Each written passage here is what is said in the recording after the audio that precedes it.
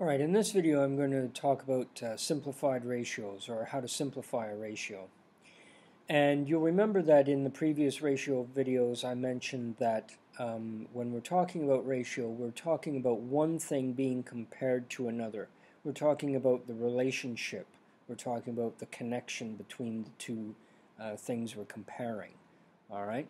So when we simplify ratios, we're, uh, the numbers get smaller but uh, how the two numbers are related stays the same. Okay, we're just talking about making the numbers smaller, but we're not changing how those numbers are connected. All right, so I'll just uh, check my pen. Okay, great. So we have uh, two things that we're going to compare here. We have nine cars. These are my cars. And uh, three drivers.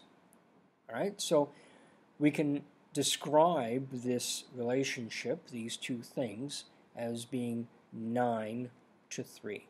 Okay, so the ratio of cars to drivers is 9 to 3. You should also remember that in a previous video I said we could also talk about this relationship by comparing the drivers to the cars. So if we did that, we would say that um, the ratio of drivers to cars is 3 to 9. Okay? So let's have a, let's uh, just take this uh, ratio here, this description. We've got 9 to 3. Okay, so when you simplify a ratio, it's very much like simplifying a fraction. You just find the greatest common uh, factor that goes into both of these numbers and you uh, just calculate from there. So uh, we can say that 3 is the greatest common factor because 3 obviously goes into itself, but it also goes into 9 evenly. So whatever I do to uh, one number, I have to do to the other. So we'll simplify this ratio by saying uh, 9 divided by 3 gives me 3. Okay, 9 divided by 3 gives me 3.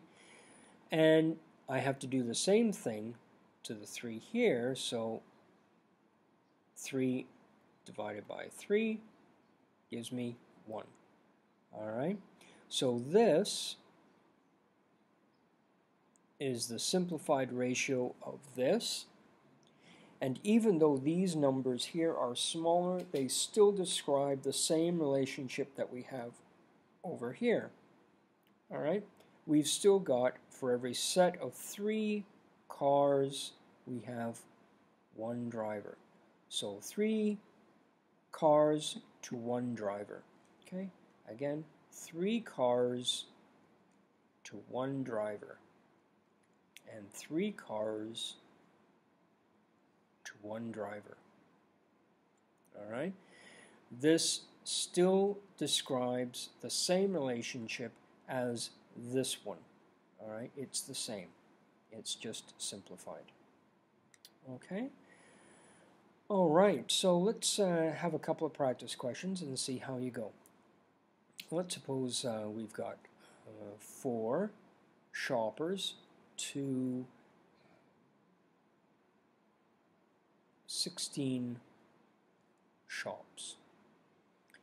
And let's suppose we've got uh, seven buses and we've got 49 riders. And we've got 12 cars and we've got 84 parking spaces. Okay? So I'd like you to simplify those. Stop the video simplify them and then see uh, what you got. Remember, you're looking for the greatest common factor, the largest number that goes into both sets of numbers. Okay? Good luck. Okay. You should have stopped the video and tried working these out, so let's just uh, see how you did. Again, we're looking for the greatest common factor that goes into both of these numbers, and the greatest common factor that goes into 4 and 16 is, of course, 4. So we can divide 4 by 4, which gives me 1. And 16 divided by 4 is going to give me 4. Okay, so my simplified ratio is 1 to 4. Let's have a look at this one.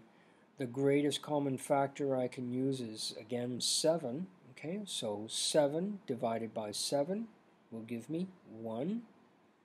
And 49 divided by 7 will give me 7. So 1 to 7.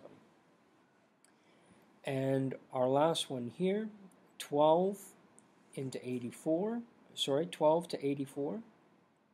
The greatest common factor is again 12. So 12 goes into itself once. And into 84, how many times? 7. Okay. It obviously, I, I say this in many videos, but it, it always helps to know your times tables. So if you don't know your times tables, please take the time to memorize them, learn them, because it makes working out your math is like in situations like this so much easier. All right. Good luck.